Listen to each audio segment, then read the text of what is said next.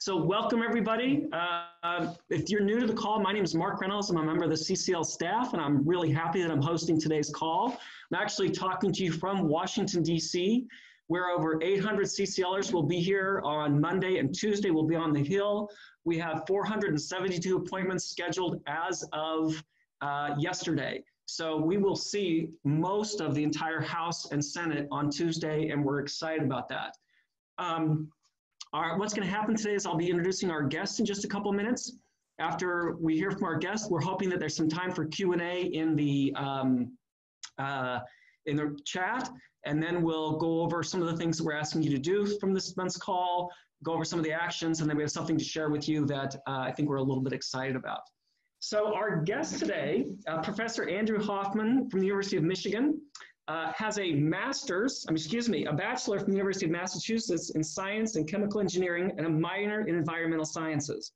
He has a master's from MIT in civil and environmental engineering and from also MIT has a doctor of philosophy from the Alfred P. Sloan School of Management and Department of Civil and Environmental Engineering and interdepartmental degree.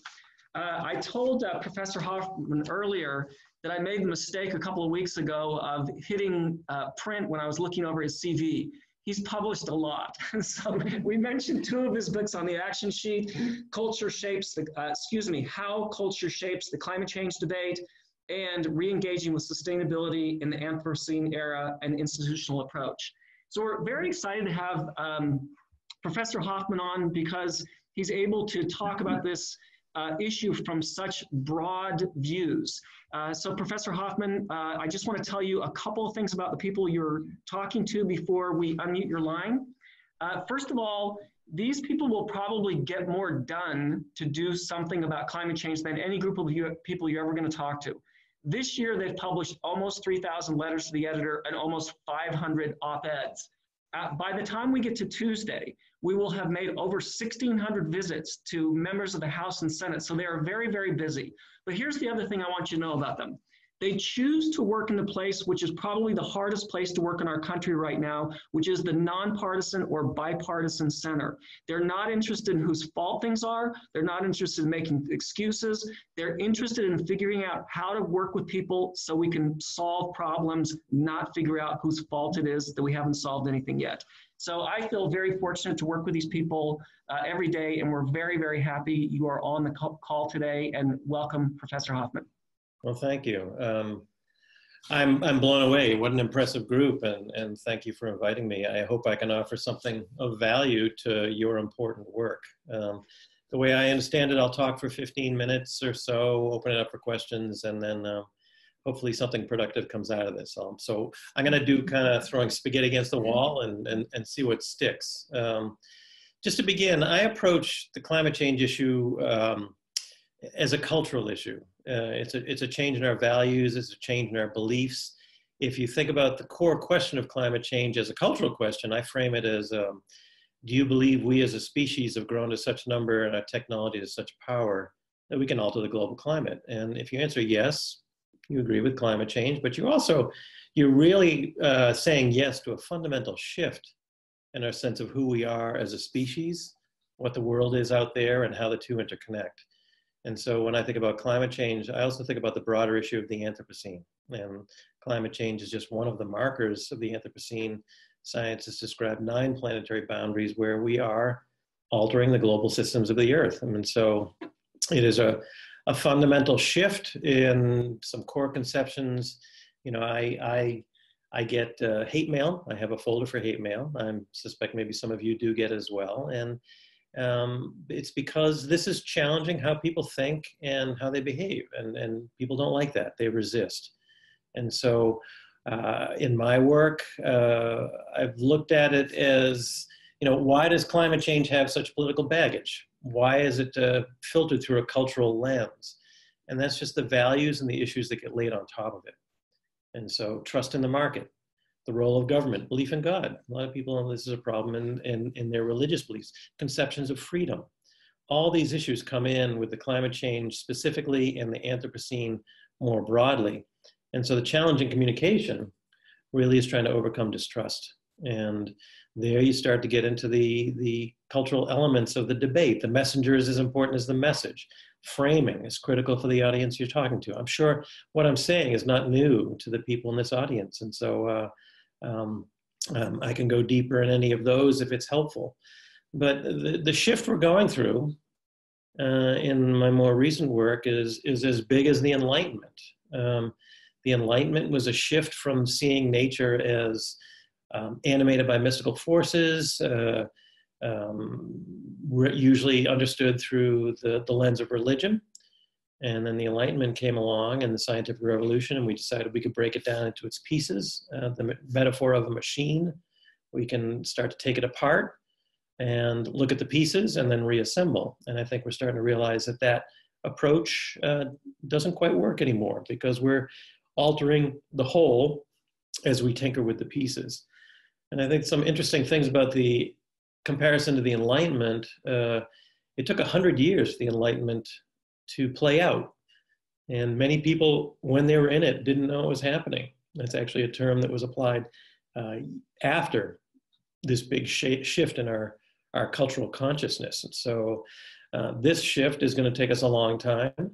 And uh, I do think there are shifts at play already that are changing our cultural norms, values, and beliefs in ways that are reflected by what's going on in the world around us. And so that's what I focus on. I focus on public opinion, policy, technology, nonprofits, and in particular, I focus on markets and how markets are shifting. That's one interesting difference between the Enlightenment, um, which happened a couple of centuries ago, and what I'm calling the re-enlightenment we're going through right now is we have the market that's a player in this, both as the cause and ultimately has to be the solution. Uh, uh, the market is the most powerful institution on earth. Uh, business is the most powerful entity within it. If business isn't solving this problem, it won't get solved. And uh, so that's a, a, second dimension of my work.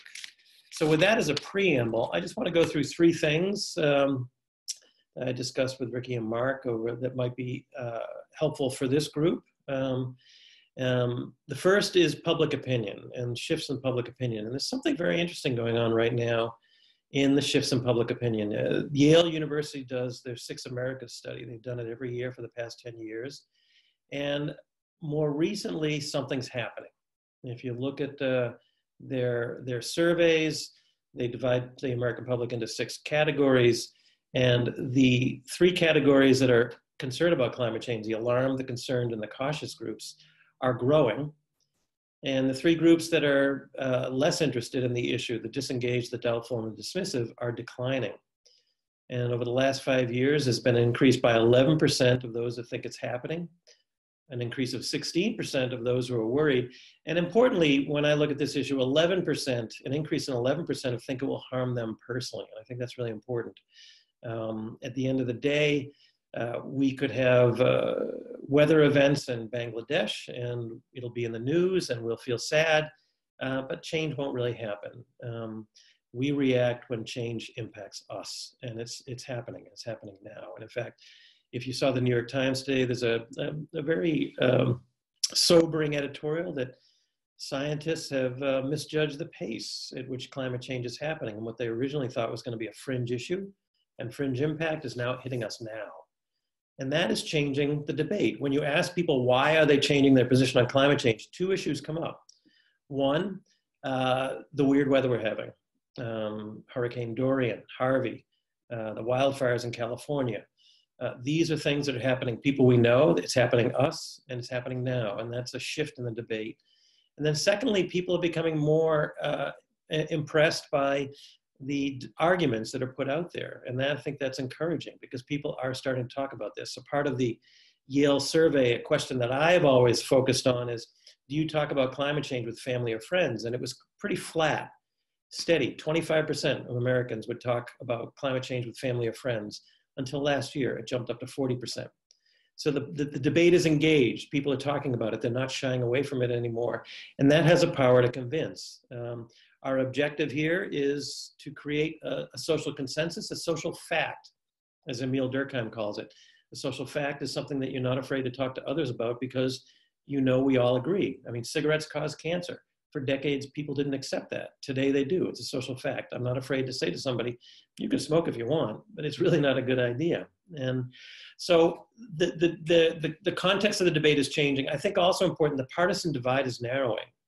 Um, if you look at the, the, the difference between Republicans and Democrats on this issue, and I, I applaud you for trying to stay in the middle and talk to both sides, that's key. But the opinion polling does show that Democrats have consistently believed in this issue, Republicans not. And there's been a decrease in belief in uh, Republicans till around 2009, 2010. That's the height of the ClimateGate scandal, and then coming up since then. And right now, the Yale surveys show 68% of liberal to moderate Republicans think this is happening. That's a 14 point jump between 2017 and 2018. And I'll get into a hypothesis on why that's so in a second. University of Chicago did a survey, found that 76% of Republicans want the government to do something, 96% of Democrats, 81% of independents. So that partisan divide narrowing, I think, is very important for the politics in this country. Um, and then I think it, another interesting piece of this is the youth movement. Um, uh, one of the problems with environmental issues in general is that it's hard to find a constituency that it represents. Everybody benefits from a clean environment.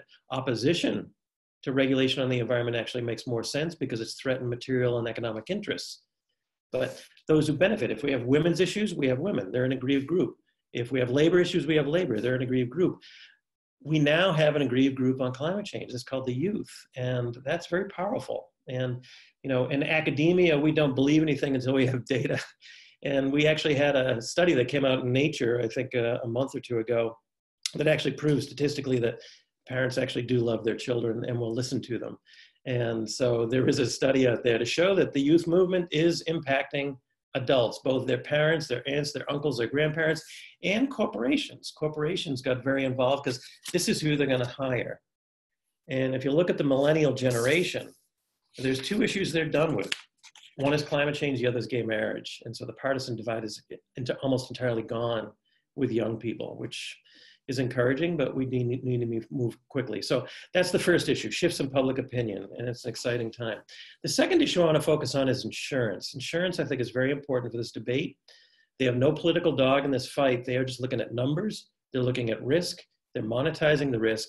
They're passing that risk on to uh, individuals, consumers, corporations through both the cost of a policy and the coverage of the policy. And things are changing. You can take a look at, at um, data from uh, particularly the reinsurance sector, Munich Re, Swiss Re, steady increase in natural catastrophes over the past three decades, steady increase. But what's more disconcerting for them is the cost. And that is, it, it's got a general upward trend, but it's spiky. And that makes insurance companies very uncomfortable because they don't know how to price. Um, and so 2017 broke a record for natural disaster costs, uh, $330 million in this country. And importantly, 50% of that was insured, 50% of it was uninsured. So um, that is, I think, starting to change the debate.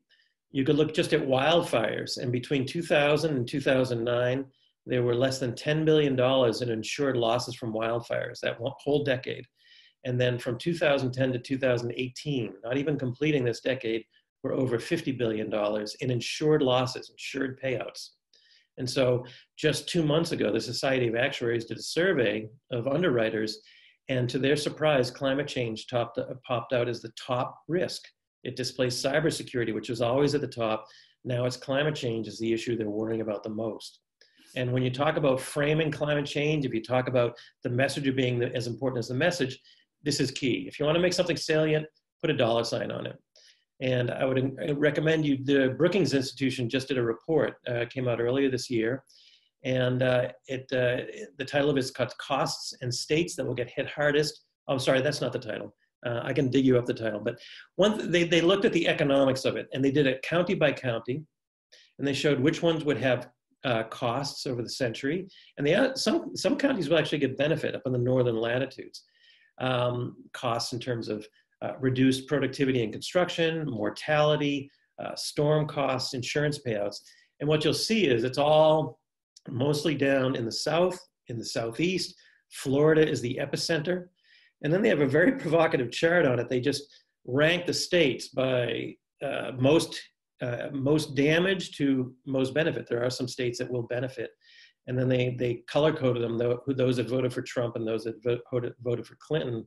And the, the states at the top of the list all voted, almost all voted for Trump. So that's uh, very interesting again for starting to shift the debate. The third area I want to focus on is um, the corporate sector. And uh, I find some interesting movement in the corporate sector, not enough, but still some movement. And the way that uh, corporations ha have been thinking about this, uh, just environmental issues in general, the way I've been teaching it is just fit it in with existing market, market logics. So we don't talk about climate change, we talk about consumer demand, operational efficiency, cost of capital, and that'll get you to build a sustainable hotel or create sustainable food or sustainable car. It's just a market shift, just like any other. But that's not solving the problem. Um, the Tesla's a great car, but the answer to climate change is not another car. The answer is shifts in our total mobility system. And so the way things are going in the corporate sector now is trying to think systemically about these problems. And that creates some interesting movement. Instead of reducing carbon, we're now talking about carbon neutrality. Uh, Toyota has a, a, goal to go carbon neutral. Marks and Spencer claims they have gone carbon neutral. Uh, the University of Michigan is looking at going carbon neutral. The University of California just announced they will. Even the countries of Costa Rica and Iceland have announced they will go carbon neutral.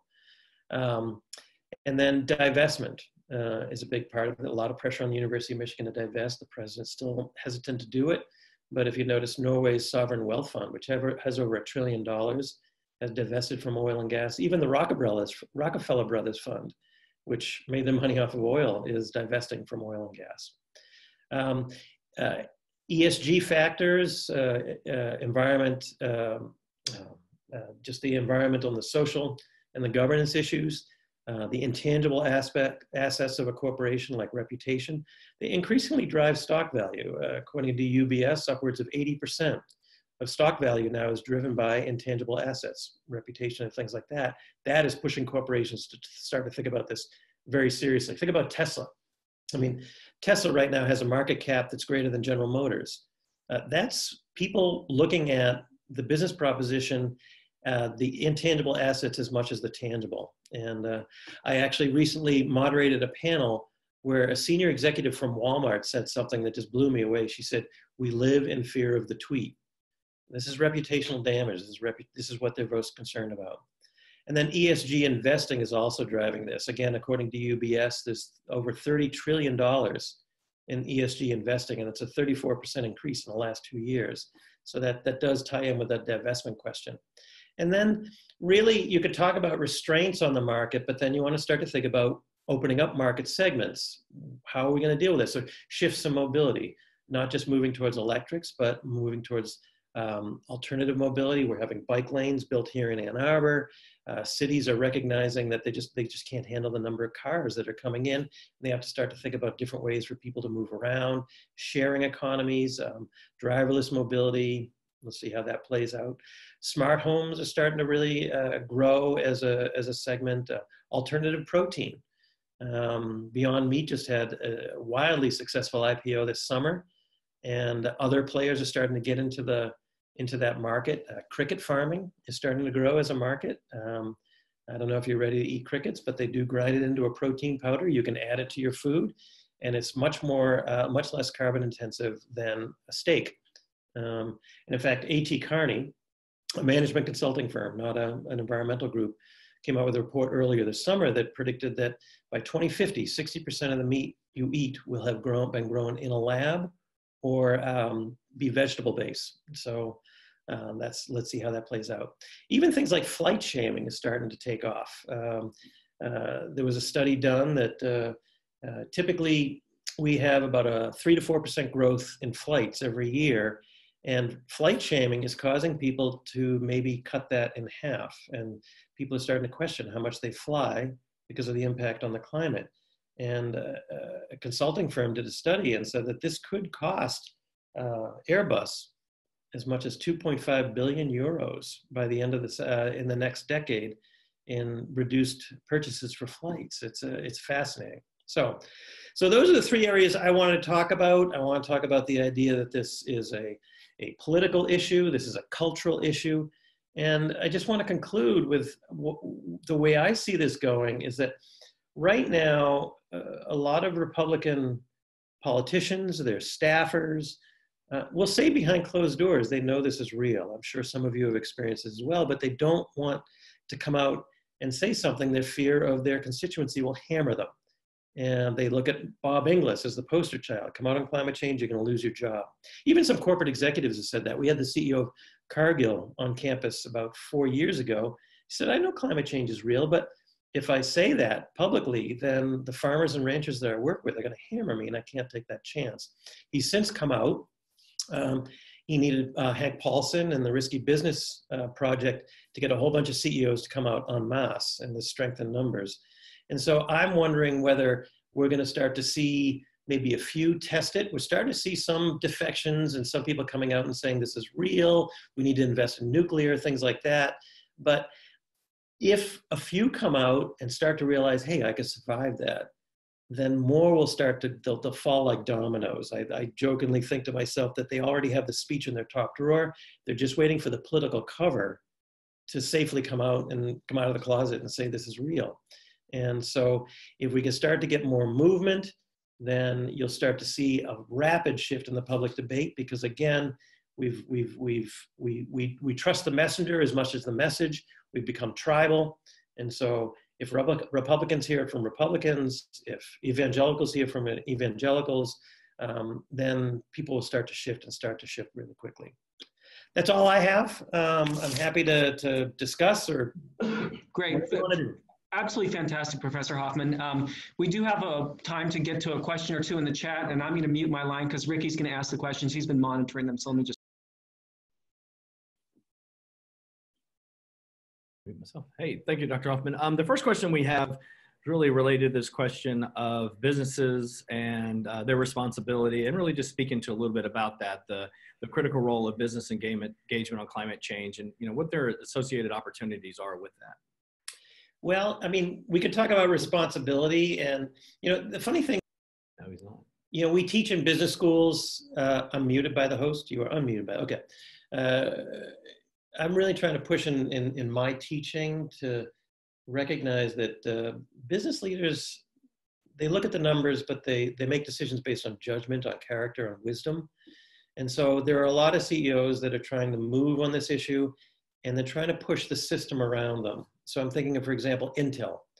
Intel was instrumental in getting the electronic sector to far, start to focus on um, uh, conflict minerals in the Democratic Republic of Congo. It's not a climate change issue, but I'm just using that as an example of trying to shift the system. Right now, I'm working with Paul Polman, who stepped down from Unilever, the CEO of Unilever. He started something called Imagine. And what he wants to do is find sectors where there's tight concentration market power, get that small handful of CEOs in a room and say, okay, let's move on palm oil, let's move on climate change, let's just do this. And if we do, we'll get others in the sector to start to follow, and it'll make it easier for policy to be set later on. And so that's the level of the conversation that I'm starting to get excited about in the corporate sector of trying to take on a strong role. I do have reservations. Um, um, when I was first talking to Paul about this, my first statement was, we used to have something called government that did this. And he says, yeah, but government's, it's weak now and it's not moving fast enough. And my answer is, mm, what has the corporate sector done to make it that way? Leaving that aside, just a pragmatic approach. We got to get more companies out there taking a leadership role and trying to push their sectors to move forward. No more. No more. Fantastic. Professor Hoffman, hold on a second here, Ricky. Can you, yeah, um, that was amazing. I'm hoping we can get you back. I think uh, we would love to get more of this and uh, all three topics. I have been wanting somebody from the reinsurance industry on for quite a while, and I just to get a simple question answered, like, how do your actuarials do their work now? Yeah. Well, that's an interesting question because um, if you take climate change seriously, which many firms do now, a lot of that actuarial data, which is their bread and butter, is useless. Um, so many insurance companies are, they, they can't throw it all away, but they're going to throw away everything older than 10 years. And then a lot of reinsurance companies are hiring climate scientists because, again, past is not prologue. Actuarial data will not help you uh, monetize risk going forward. You need better, better tools and instruments. Yeah, well, fantastic. And again, a lot of the reason that we argue for a price on carbon is for exactly what you're saying is to just try to give the little bit extra of incentive throughout the entire economy to say transitioning is going to be a great, a huge economic benefit to a lot of people. But I would, I would yeah, and, and, a, a price on carbon is key, but it's not a silver bullet. It's not going to solve everything. Um, I like to use the example in Ireland, they passed a plastic bag tax, 13, 13 cent tax, and plastic bag use dropped by about 98%. And economists stood up and said, hey, pricing works. And I said, well, wait a minute, time out. Um, there are contextual factors that make that possible. Um, uh, in Ireland, um, there was a social norm that got set that if you were seen carrying a plastic bag, you're seen as a jerk, like someone who doesn't curb their dog. And, and a price alone, it depends on how the price is institu instituted. So if we had a spike in the price of gasoline, the market responds. People buy uh, more fuel efficient cars, they drive less. If that spike is caused by a jump in the federal uh, um, uh, gas tax, the response is going to be very different. And so all prices are not the same. And so I just, it, it's a cultural, we have to sh shift the norms and the beliefs. Yeah, yep, we're with you on that. We believe that we have one important piece, but there's a lot of important things that need to happen. Again, thank you so much for being on. If you want to stay on for the next 10 minutes or so, you're welcome to. I do know it's a Saturday and you're busy, so if you drop off, we understand, but it's fantastic to have you on today. I'd like a little more about, learn a little more about what you're doing, so I'll stay on. Okay, okay, fantastic. So uh, one of the things that's going to be happening uh, on Monday, we will be spending the day educating ourselves, getting ready to go on the Hill on Tuesday. We're a volunteer-based organization. So one of the things we'll be doing is showing seven videos that feature volunteers back home. They're three minutes long, each of them. We want to share one of those with you right now.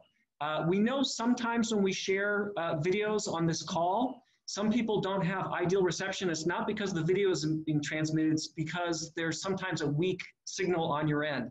So if this isn't perfect, don't worry. We're going to be releasing these to the public after we show them on our Monday lobby day. But I want to just start with one of the volunteer stories that we'll be sharing over the course of our preparation for lobby day on Monday.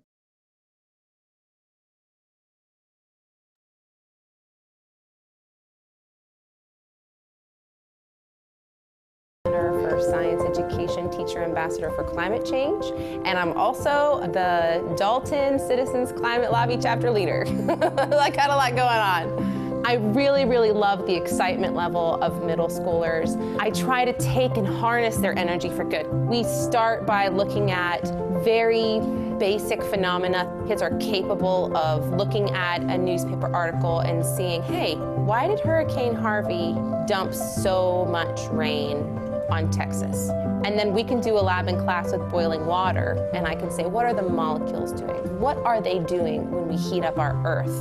For the most part, my students are very interested in climate change, and I can tell that they're nervous about it. And if I start talking about it here in my classroom, then students see how it's done, and they're capable to do it themselves and maybe bring it up at home at the dinner table. In Northwest Georgia, it's very conservative, and people here have really big hearts and they really care about their fellow man. They also really love the environment and they love our natural world. We're in the perfect location to be at the forefront of this new day in energy. We have a brand new solar manufacturing plant here in Dalton. So our legislation is good for Northwest Georgia. We didn't have a lot of money growing up. My mom was a single mom. And so when I was given a gift, it was special. And that's how I teach my children with their things. I want you to take care of it. I see their beautiful faces and they talk about what they want to be when they grow up and they talk about where they want to live. And every opportunity that I had, I want for them.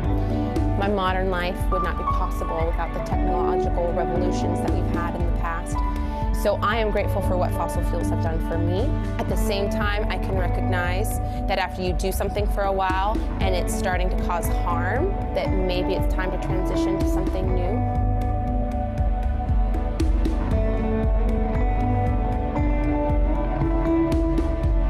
I got in CCL and I had no idea what I was doing. CCL really has given me the tools and has empowered me and has educated me to be able to take the steps that I need to take to protect the world for my kids and my students.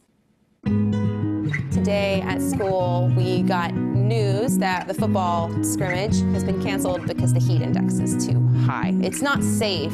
And having a few of these days every now and then is normal. What isn't to be expected is to have the number of these days continually increase. How many times are my students not going to be able to go outside? We're not talking about some distant future. I'm talking about kids that are going to be during my career. Will they be able to go outside?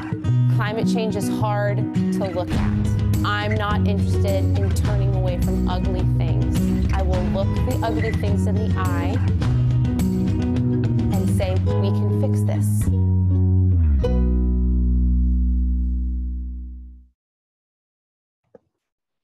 Okay, so uh, one of the things you'll see on our monthly action this this month is we're asking everybody to amplify our Giving Tuesday uh, day with uh, um, doing Facebook fundraisers.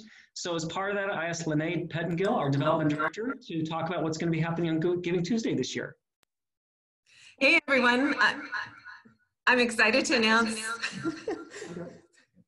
that our year-end fundraiser is now active and that December 3rd, Giving Tuesday, will be our big formal public launch for this campaign benefiting citizens climate education, the 501c3 tax-deductible sister organization to Citizens Climate Lobby. Our goal is to raise $500,000 or more by December 31st and 100,000 on Giving Tuesday alone. Now for you long timers, you might have noticed that this is actually less than our goal last year. That's because we have already brought in a lot of revenue through monthly donations. But we still need to make this $500,000 goal in order to ensure our volunteer training and support programs are fully funded.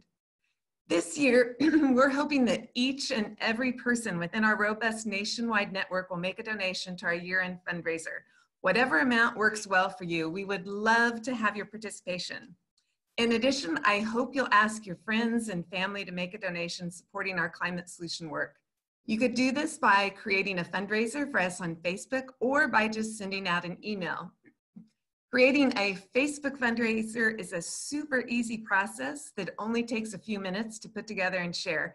Even Mark Reynolds is gonna do it. So that tells you a lot. And donations made through Facebook are tax deductible and will be directed to citizens climate education. As some of you have never created a Facebook fundraiser before, I really want to stress how easy it is to do. And Ashley Hunt Martirano will be walking you through the process in just a minute here.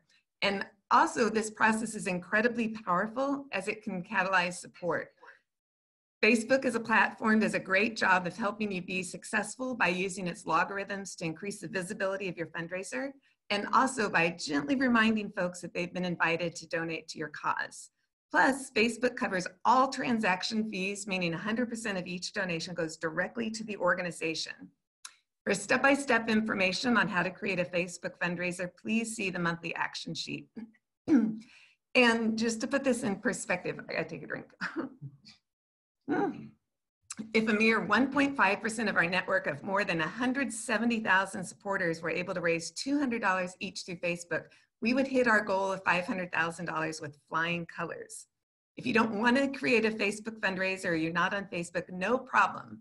Another option is to send out an email to your family and friends asking them to donate in support of our climate solution work. They could even donate in honor of your personal climate work. Please keep a lookout for more details about our fundraiser in the coming weeks. And thank you for any and all support you can provide here. Great, Lene, thank you so much. To show you how easy it is to do a Facebook fundraiser, Ashley is going to demonstrate how to do that right now. Hi, so I am CCL's marketing and events manager and I manage our Facebook page. So I'm going to walk through um, very quickly how you can set up a fundraiser on your own Facebook page so that your community um, can contribute to the work that we're doing here. So what you'll do is you'll log into Facebook and what I'm showing you now is if you're doing it from a computer. If you try and set up a fundraiser from your phone, that's possible as well. It's just gonna look a little different. So you go to the top bar where it says your name and home and create. You click on create. And then at the very bottom here, it has a little heart icon and it says fundraiser. So click on that. And then you can see the middle option here says nonprofit. So we're gonna click on nonprofit And right here, you can see Citizens Climate Lobby popped up to the top, probably because it knows it's my favorite organization, but that might not have happened for you. So if you would just type in a couple of letters of our name there, um, it will search the database and you'll be able to find us there. So will go ahead and select Citizens Climate Lobby. Um, and that's our name on Facebook, but as Lene mentioned, the money does go to Citizens Climate Education, um, which is our 501c3. Okay, so we've got the name listed there. Then we have our goal here. It sets it as a default for $200. I have a lot of friends that are really worried about climate change though, and I'm gonna try and stretch it out here. I'm gonna go for $1,000. Now, if I have a lot of people that get really excited about this fundraiser and I raise $1,000 really fast, I can come back and edit this and increase it to $1,500 if I wanna stretch my goal even more. Okay, so when is our fundraiser going to end? We are going to be running our end of year fundraiser through the end of the year. So I'm going to change that to December 31st and then click next. Okay, so here um, I get to put the title of the fundraiser and it sets up uh, a default here with your name and then who the organization is. I'll just leave that for now. I'll come back later and edit this a little bit more. Um, and then down in this description, it says, why are you raising money? And there's a default as well here. So what you'll want to do is maybe go back and put in why climate change is personally important to you and what CCL means to you. That way, whenever you share this with your friends, it's more personalized and um, they can hear your voice in it. Um, but it does explain who we are and what the work is that we're doing. And again, this is all something you can edit later. So you can do the fast way now and edit it later if you have more time. Okay, so and then here you pick a picture. I'll just leave this picture up for now, but if you have a picture of yourself from volunteering at a CCL event um, or maybe lobbying with your member of Congress, um, you can put that there and change that by clicking this little button here with the camera that says edit. So we'll go ahead and click create and I'm pretty sure that was less than three minutes it took me um, mm-hmm. to go ahead and create this fundraiser. And there we go, congratulations. So the next steps are listed here that what you could do is invite your friends, you can share it in your news feed, and then of course you can donate to your own fundraiser to kick it off. So um, go ahead and set up your fundraiser and then those are the three suggested actions once you get that set up. And hopefully we can reach our goal just as quickly as Lene has set everything up for us. Okay, Ashley, thank you for that. So in addition to uh, supporting the, the uh, year-end appeal, we uh, have attached a tool for you to do a carbon calculator so you can see how you would come out under our bill in the US. In Canada, because the election just happened a few weeks ago, we're asking you to set up meetings in your provincial riding. So in Canada, if you would go ahead and set up meetings in your riding, that would be great. Um, I want to just go over a couple things real quick that happened since last month's call. There were 48 op-eds. That's a lot of op-eds. Great job, everybody, for getting a significant piece published in your paper. There are also a lot of energy uh, innovation and carbon dividend uh, resolutions from municipalities, which includes Miami, Florida, Petaluma, California, Sarasota, Florida, Watsonville, California, Seaside, Georgia, Princeton, New Jersey, Stevens Point, Wisconsin, South Lake Tahoe, California, New Paltz Village, New York, and the Red Cliff Band of Lake Superior Chippewa Indians. So I just love when that report came on my desk. You know, last month it was the Navajo. This week, it's, um, this month it's the Chippewas. That's just really, really great news. And also, you added almost 20,000 people last month. So there are 173,804 people on our site who list themselves as supporters. So that's just a lot of really good uh, outreach work by everybody. Next month, Carolyn Woo will be on. We'll be very excited both to hear about her work with Catholic Relief Services and because she works so closely with the Vatican. Uh, and we'll be excited to hear about what she has to say about that. So Ricky's going to unmute everybody if you want to give a shout out. And if Dr. Hoffman is still on, if you can give a, a, big thank you, that'd be great. We love having him on. We hope we can have him back. And maybe you can increase that chance by giving him a shout out as we unmute everybody's line.